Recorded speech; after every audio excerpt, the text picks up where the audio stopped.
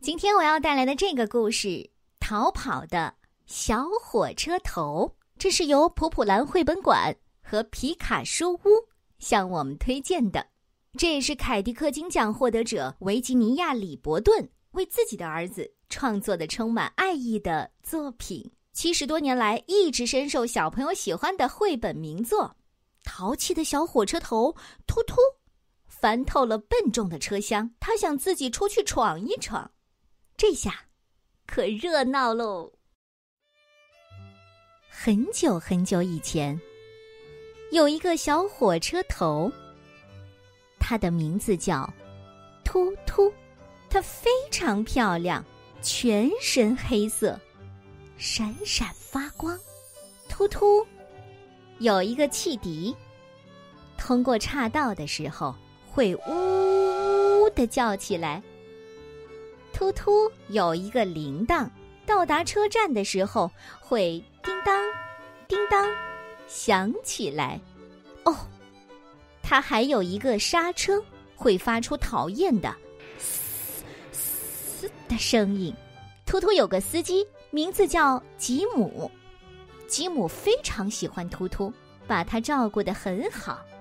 他把突突擦得亮亮的，看上去就像新的一样。每个零件上都上好油，让它们跑起来顺顺当当。突突，还有个司炉工，他的名字叫欧利。欧利给小火车头添水加煤，水和煤都装在燃料车里。阿奇波尔德是列车长，他在车厢里走来走去，负责给乘客检票。阿奇波尔德有一个大怀表，到了该出发的时间，他就会通知突突。突突拉着装满乘客的车厢，装满行李和邮件的货箱，还有一辆燃料车，从一个小镇的小火车站到大城市的大火车站，然后再返回来。突突越过平原。当他穿过公路的时候，道口的栏杆会放下来，突突，停在一个小小的火车站，拉上乘客、行李和邮件，开往大城市。叮当，叮当，他又出发了，穿过隧道，爬上山岭，驶下小山，穿过吊桥，来到大城市的大火车站。有一天呐，突突自言自语：“拉着这些笨重的车厢，我烦透了。如果只有我自己，一定跑得又快又轻松。大家都会停下来看看我，对，就只看我一个。他们会说：‘多机灵的小火车头啊，跑得多快呀！’哦，它真漂亮，看呐，它一个人在跑呢。”第二天。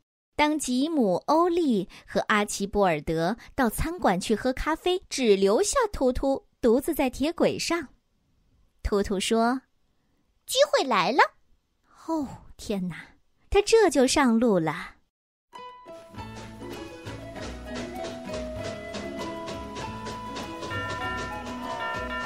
大家都快过来，停下来吧，看看我，听听我。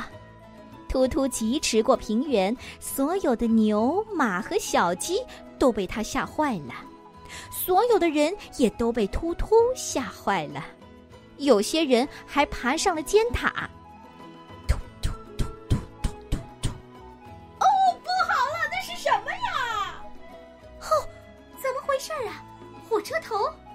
突突疾驰的驶过铁道口，所有的汽车、卡车都不得不赶紧踩刹车，结果他们一辆叠一辆，撞成一片。哦天哪！这个可恨的小火车头！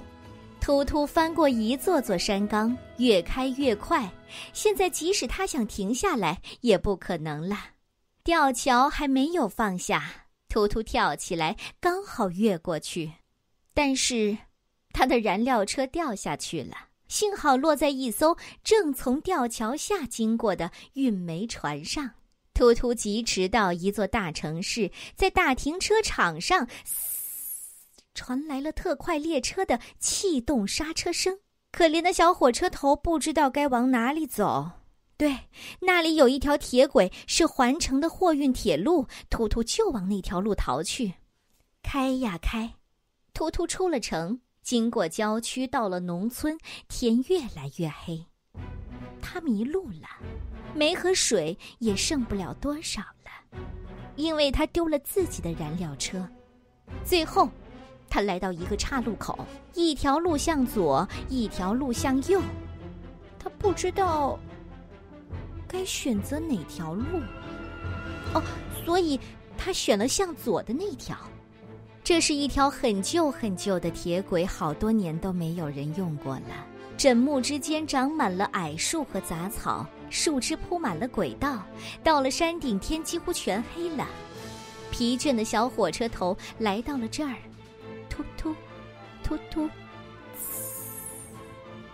小火车头停下来。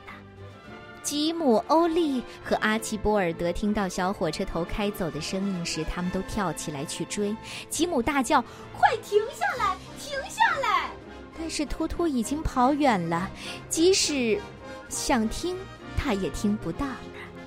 吉姆、欧利和阿奇博尔德跑啊跑啊，直到再也跑不动了。这时候，一辆新式火车从他们身后开过来。吉姆赶忙掏出自己的红手绢，使劲儿的挥舞。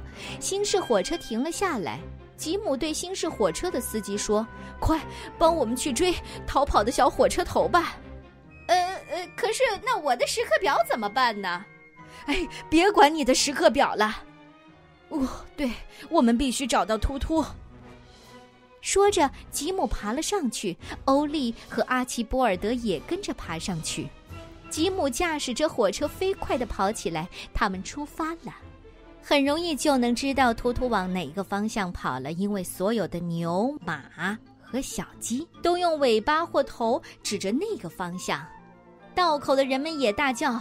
他他往那条路走了，就是那条，快快把他带回来，快！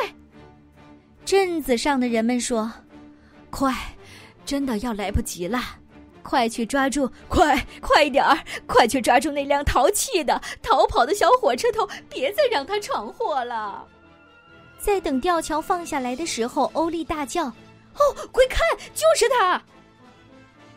是的，燃料车在运煤船上。吉姆对欧利和阿奇波尔德说：“你们留在这里，把燃料车弄上来，我接着去找突突。”阿奇波尔德打电话找来了起重机，不多久，燃料车就被起重机吊上来，放回到铁轨上。大家一起到大火车站的停车场前，等着吉姆把突突带回来。吉姆和新式火车终于来到了岔路口，他们不知道现在该走哪条路，就正在商量的时候，一位年轻时曾当过工程师的老人大声对他们说：“我不知道，嗯，你们是在找逃跑的小火车头吗？他往那边去了，不过他开不了多远，因为那是一条旧的铁轨，已经有呃呃四十年没人用过了。”他们打开了车顶的大灯，沿着旧铁轨慢慢走。没走多远，他们就看到了小火车头。图图见到他们，真是太高兴了。嘟的鸣了一声汽笛，他就剩下那么一点蒸汽了，仅够他滴滴的嘟一声。吉姆拿出一根大铁链儿，跑去拴在小火车头的身上。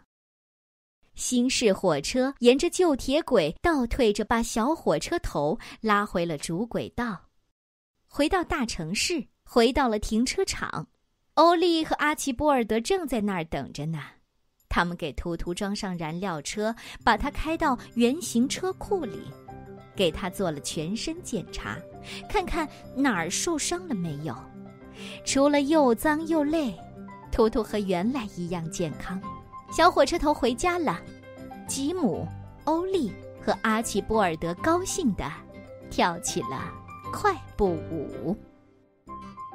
回家的路上，图图对吉姆说：“我我再也不逃跑了，一个人出去一点都不好玩儿。